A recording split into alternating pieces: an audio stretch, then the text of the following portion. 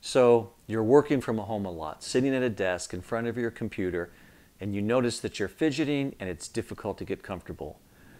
More and more people are working from home or just spending more time on their computer.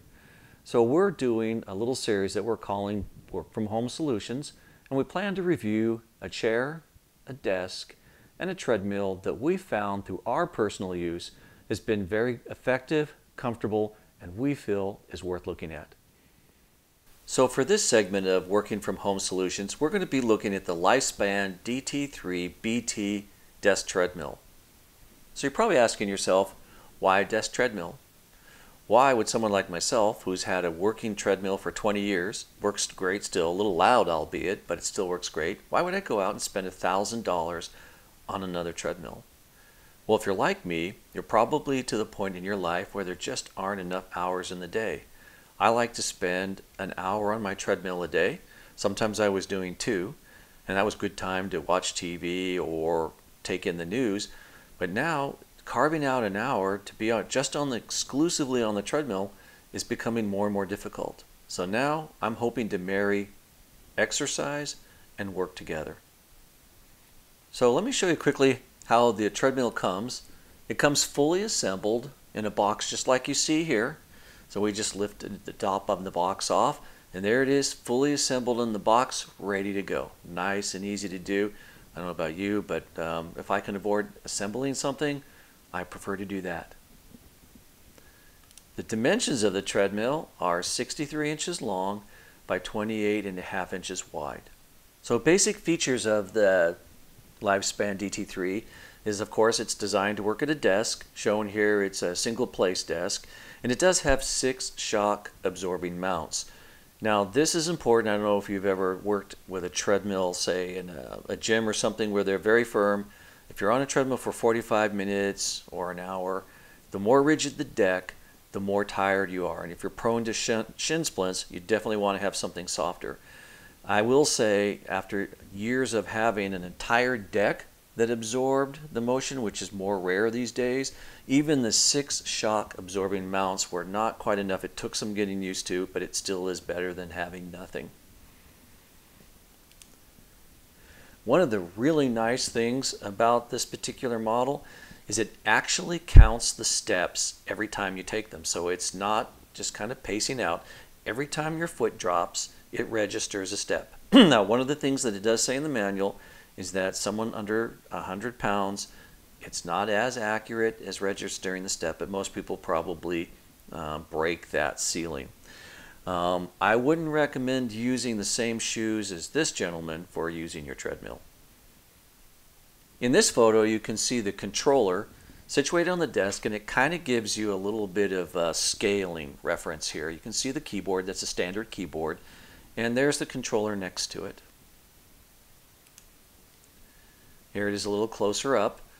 Um, this controller feels very solid, very heavy. Um, it needs to be. It has good feet on the bottom of them and that tend to be tactile that are going to stick to your desk because if you look at the front of that controller, that's where your breakaway key is. And so it's very important that that controller does anchor well and sit well on your desk. And it is a very light breakaway key so that if you do fall or have an emergency, that key comes out immediately and turns off the treadmill and it does work quite well.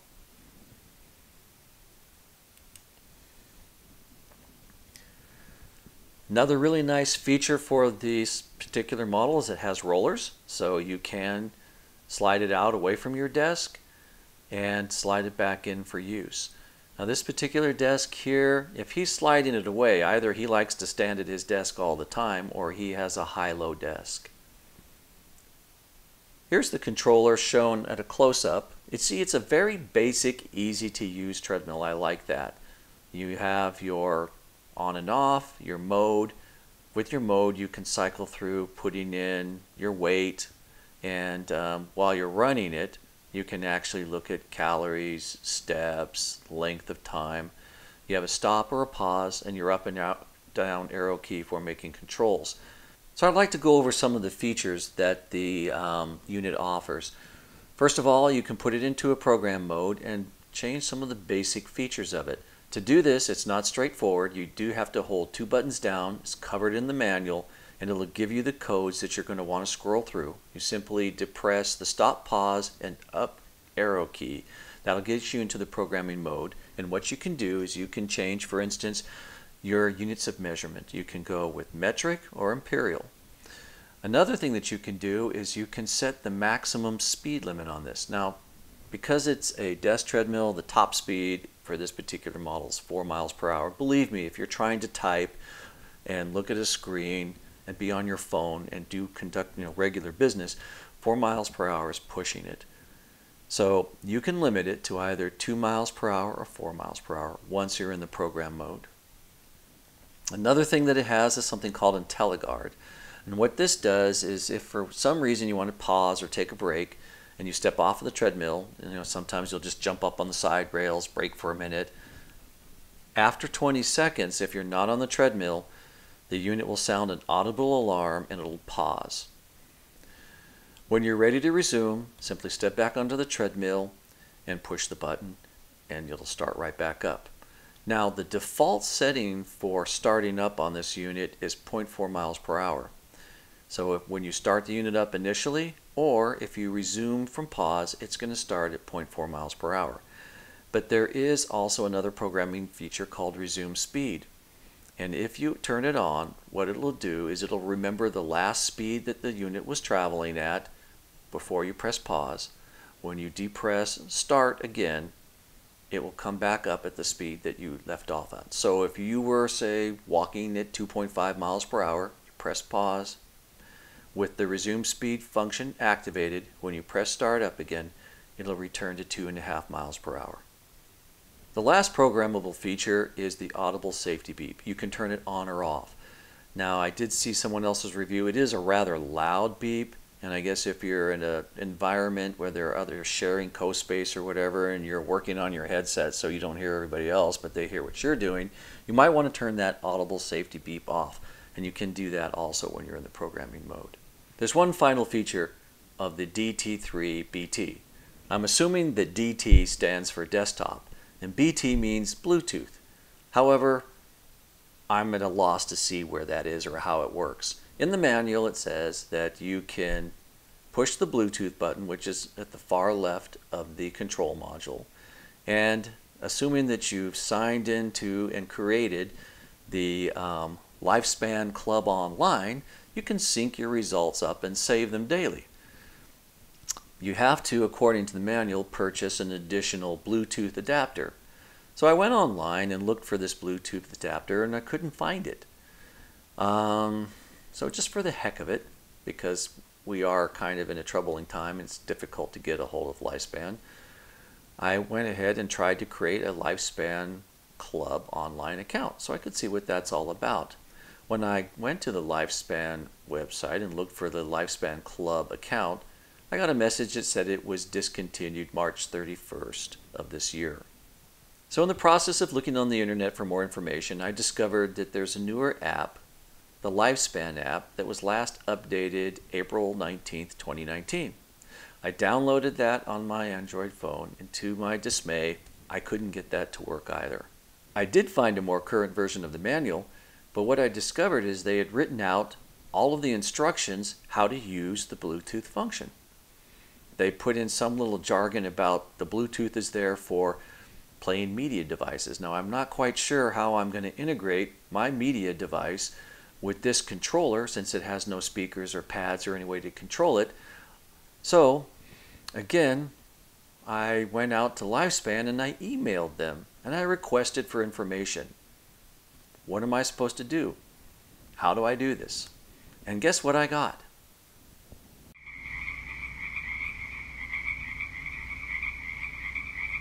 So far, it's been very disappointing not to hear back from them. I don't know about you, but when I purchase a product, service is very important, and I at least expected some kind of email response. If we do get something, we will put it down below, but at this point, it looks like Lifespan had a great idea and they just weren't able to make it work. There are other units out there that do allow you to sync up to apps to record your daily results. If this is important to you, this unit is not for you. However, if you're looking for a unit that is whisper quiet and does have a proven track record for endurance and something that's simple to operate, I absolutely recommend this unit. So in the photos I showed before, the treadmill is shown at a single place desk where simply when you're at the treadmill, there's nowhere else to be.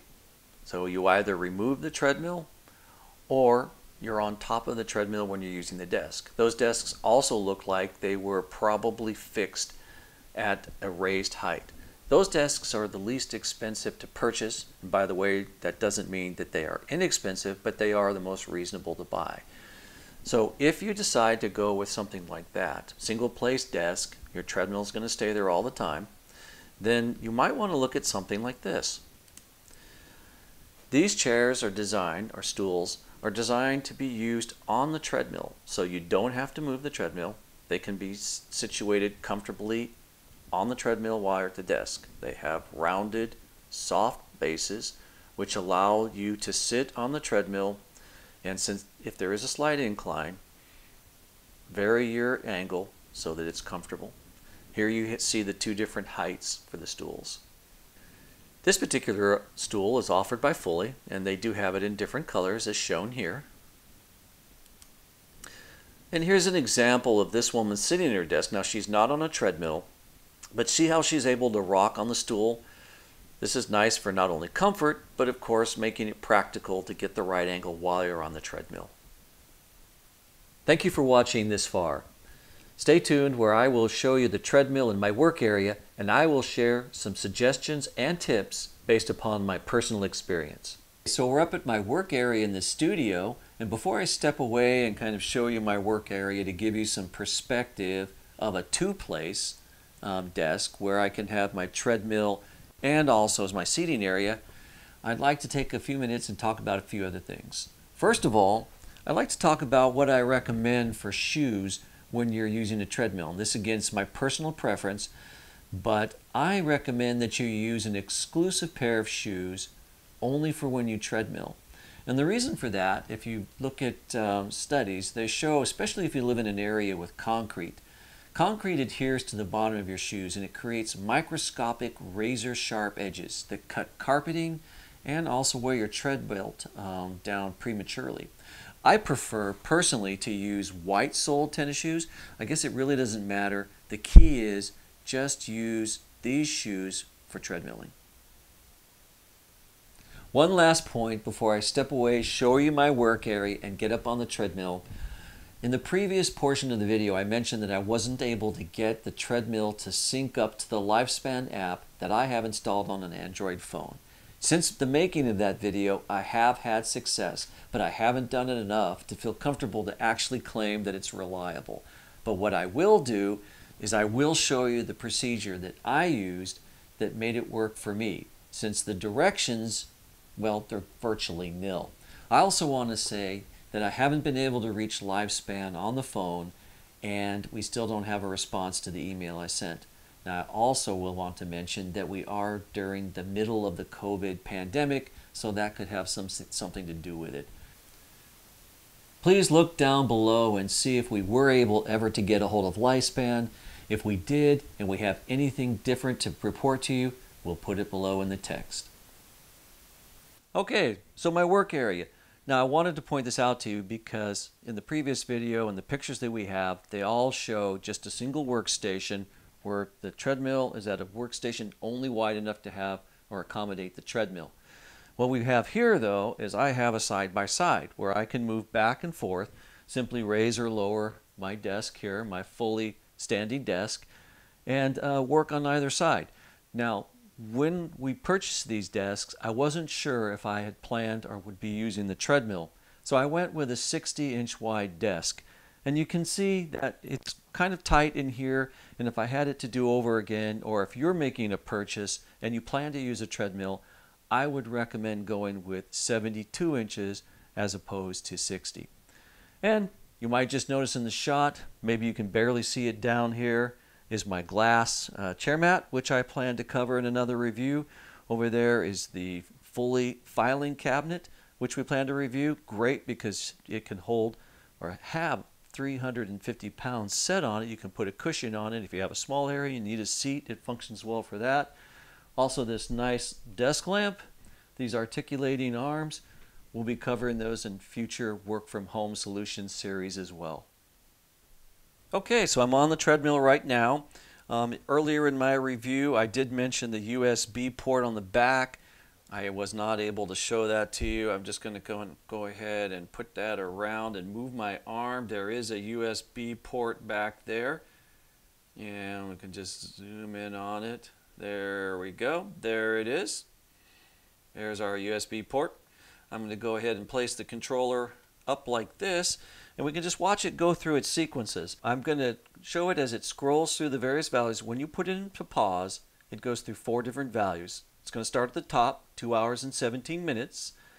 Step level, that's actually 12,720 steps added, zero at the end, 528 calories, and the distance is 4.01 miles. So when I did my workout today, I wore my Samsung G3 watch, which I sync to the Samsung Life Health app. So I just want to show you something here. This is where the value of this treadmill really is nice because it's counting steps as you do it. So go ahead and zoom in on this. My Samsung G3 watch recorded 10,973 steps. Now, when you're working at the desk and you're typing and your arms aren't moving a lot of the time, or on the phone or the various things that you do that don't allow your arms to swing, you're not going to get the accurate count of something that's actually counting your steps. In this case, it's almost exactly 2,000 steps off. That's a huge difference. And that's where this desk, if you spend a lot of time working at your desk, is going to give you a much more accurate accounting of your workout. So next I'm going to go ahead and show you actually starting up the machine. First of all, I'll position everything the way I do it. I'm going to start up the machine and run through so you can see how quiet it is, how it cycles through the various things, and then, and most importantly, I've only been able to make the syncing work from when the machine is on, and I will show you how I'm able to successfully sync the Lifespan to the Lifespan app. Okay, last before I start up the machine, I'm just going to bring my keyboard over here and place it as I normally do when I'm working. I place it right over the top of the breakaway key. This breakaway key is very sensitive. There is no issues with this running under the keyboard as I've done here. It breaks away quite easily. So the other thing I'll mention is I don't have it here today. I'm sorry, but I have found that one of those gel wrist rests really helps with the comfort. I wasn't able to get comfort comfortable without it. Um, so I just would recommend a nice gel rest right there that has everything comfortable and as you can see right here everything's positioned for good typing. Now I'm going to start the machine which I simply do by depressing the start button. It's going to give me a three second countdown and it'll start at 0.4 miles per hour just as it's doing now. As it comes up to 0.4 miles per hour I can go ahead and use these arrow keys and bring it up to where I'm working at right now, which is 1.8 miles per hour. Now remember, this will go up to 4 miles per hour, but I think you'll be hard pressed to really work for any length of period of time, intricate mouse work, without um, staying under 2 miles per hour. I want you to hear how quiet the machine is. I'll stop talking for a moment.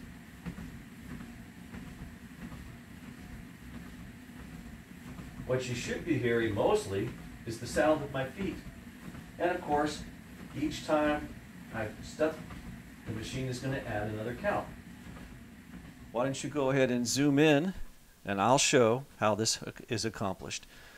As I scroll through, I'll go to step level. Now, remember, because it's now counting in series of 10, since we have a zero on the end out there, it's only going to change every 10 steps. Calories, 533. Distance, 4.04 miles. And of course, my speed of 1.8 miles per hour. Now, if I pause the machine, it comes to a nice gradual stop. And if I start again, by pressing the start. Again, a countdown and 0.4 miles per hour is where it will start. Now remember there is a feature if you want where you can program it to start where you left off when you press the pause button. I'll bring it back up to 1.8 miles per hour. I'm going to run it a little faster just so you can hear how quiet the machine is.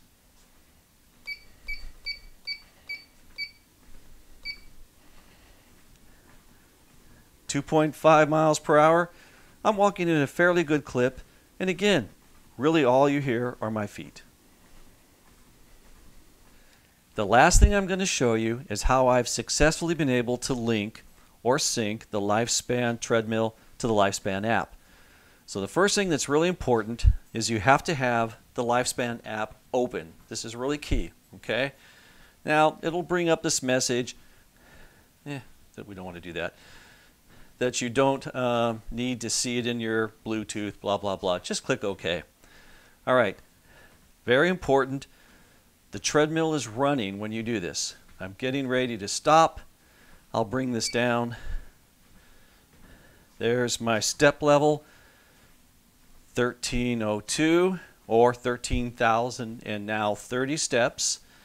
Now, what I'm going to do is press the stop pause button then the Bluetooth button, and hold my phone next to the unit or the controller with the Lifespan app open. Stop pause, Bluetooth, hold it next to it.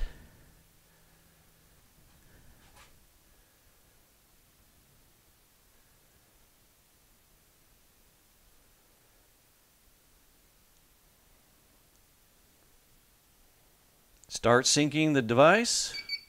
There it is. It's recorded 13,570 steps. That's the way I've been able to get it to work, and I will continue to use it and report back in maybe a month or so if I find that it's still, or at least proves to be somewhat reliable. Thank you for watching our review of the Lifespan Desk Treadmill. If you like what we're doing, don't forget to like, subscribe, and if you want to be notified of future videos, please click that notification bell. And also, if we hear anything further from Lifespan, we will include it in the notes. Thank you very much.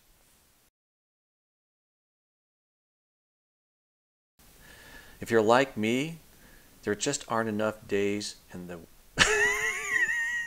hours in the day.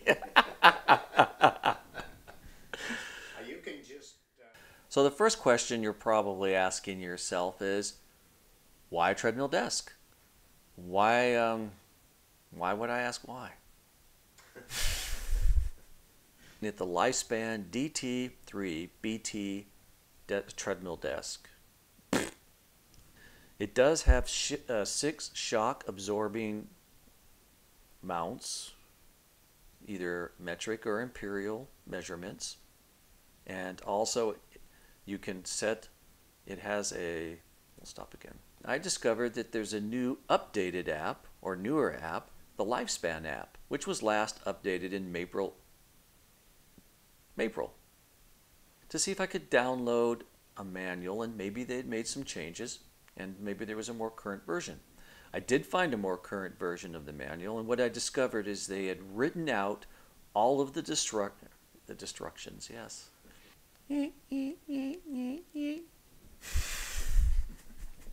So I hope you enjoyed this portion of the review. Stay tuned and we'll go up to the desk. So thank you for watching all full... Fro? Uh-huh. Okay. Take 200. yeah, that's right. Thank you for watching our full review of the fully desktop treadmill.